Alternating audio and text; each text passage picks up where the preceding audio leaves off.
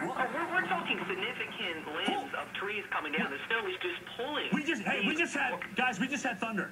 We just had thunder here. That is the fourth time. That is the fourth time I have witnessed thunder snow during a live shot.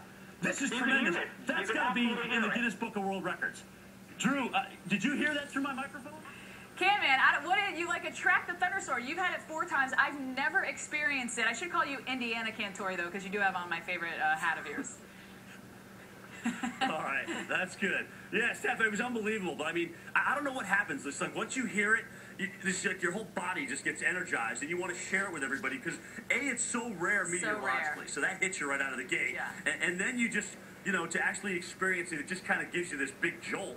And well, you saw the result. Well, I'll let you know, Can Man, uh, uh, if and when hopefully I get the chance to experience that. Uh, thanks for the moment on air. Uh, You know, it's Venice's new favorite thing to say.